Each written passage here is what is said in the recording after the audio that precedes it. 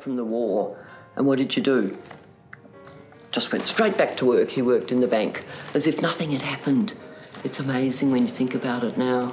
There was no support, no acknowledgement that you've been through a terrible situation. But I think we're a lot more open this generation than my parents' generation. We're more free with our emotions and talk about things more freely than we did back then. So I got a job in a bank with no aspirations to do anything except earn enough money to buy some nice shoes and clothes and things like that. And I thought I would really like to be a librarian. Come over to the West, we found paradise. Follow your heart, be honest with yourself, be honest with everybody if you can.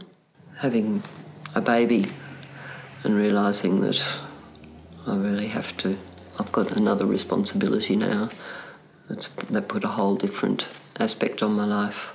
Biodynamics and organics are important because when you start to use chemical pesticides, it affects so much more than just the ground you're putting it on.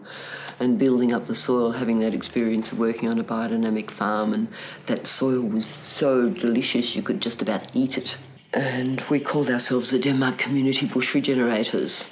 And the Shire said, Yep, go ahead, you can have a go over there. We discovered that this method of walking into the bush, walk no more weeds, turn around and work back out, taking the weeds out as you go, gradually, so that the bush recovers by itself. You don't need to replant. I think there is something beyond this physical body.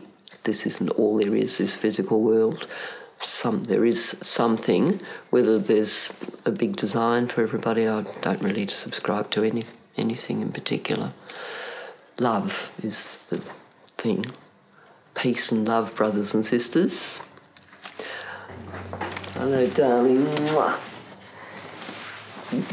I would say don't worry if you're not doing well at school because that's not the end of the world if you don't. Some of the most successful people I know left school when they were 14. For a start, I think all Australians should go overseas and see other cultures and other countries to realise how, what a fabulous place Australia is. I do love dancing though, that is my other passion.